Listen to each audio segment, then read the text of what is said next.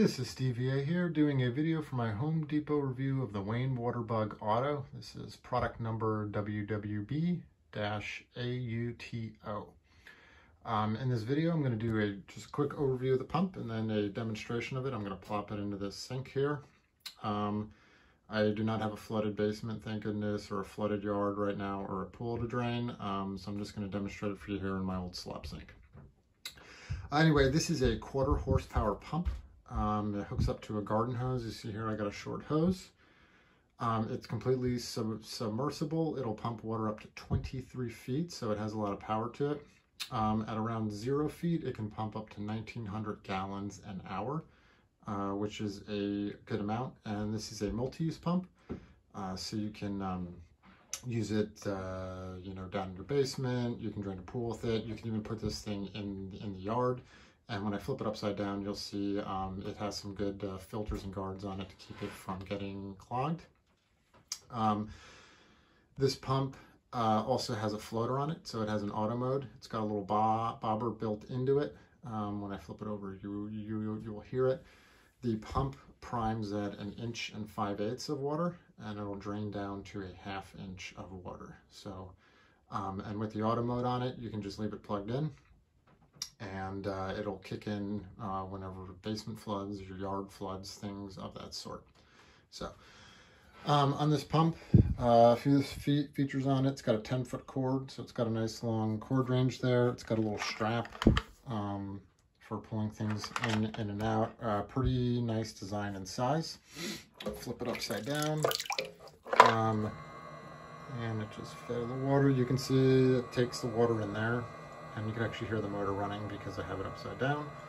Um, but it's got these little teeth here, so if you plop this thing down the yard or the basement or whatever with flood, uh, it's less likely to clog up with uh, debris or things of that sort. So I'll flip it over, and you can hear the bobber turning it off, or the or the or the floater.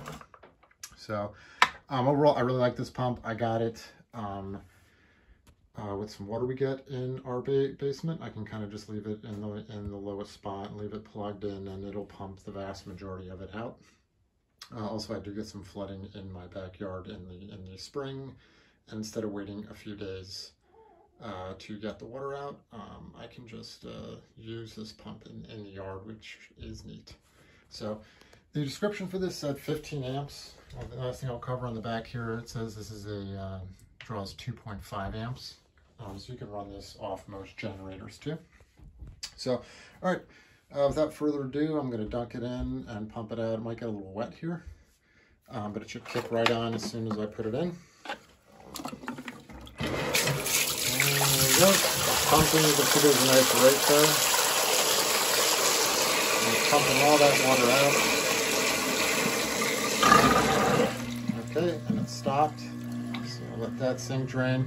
And then right now there's actually, probably where the pump is, probably, uh, it seems like there's maybe a quarter of an inch of water in there actually.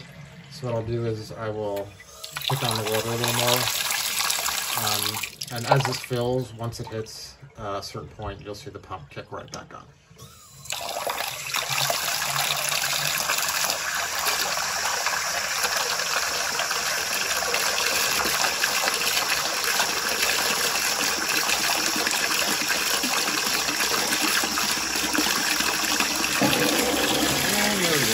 Fits right on. We'll it out, stop, and we'll turn that off. So,